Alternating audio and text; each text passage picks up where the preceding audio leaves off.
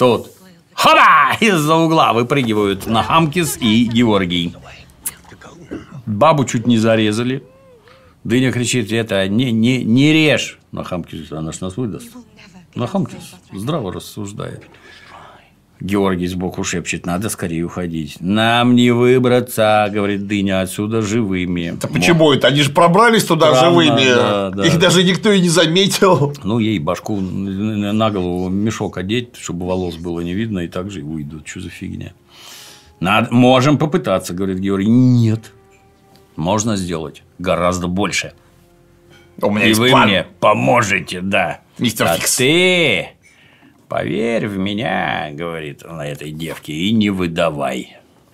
Вот это я понимаю. Вот это... Это да. Откуда они знали, где дыня ссать будет? Вопрос. Откуда они знали, где она вообще? А, блин? ну, понятно, где. Она вот в храме. Он там в центре города. Все ясно. Она там.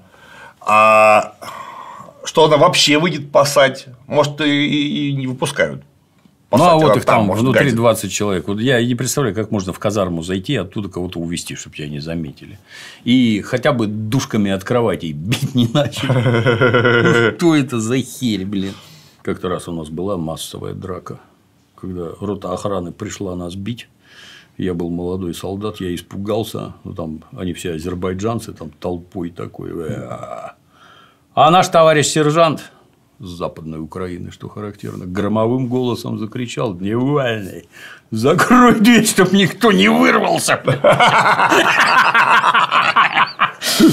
А потом мы их били душками от кровати и табуретками.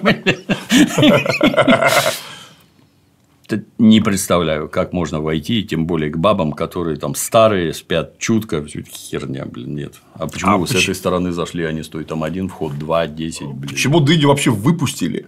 Да. У А нее, туалета нет. У нее завтра судилище, она пошла гулять. А ссыте вы за углом, да? Да, кстати, куда вы там ссыте? На улице, А что ли? где? Там же. Там же. А урбанистика от а, этих двух дебилов просто прекрасная. От Бенни Вайса, блин. Во-первых, кочевники, которые живут в степи, в местах постоянной дислокации сразу организовывают первое – бани, второе – сады.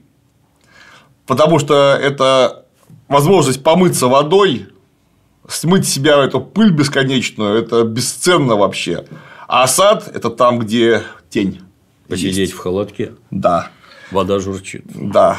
Если у них есть деньги, посмотрите, как Амир Тимур обустроил Самарканд.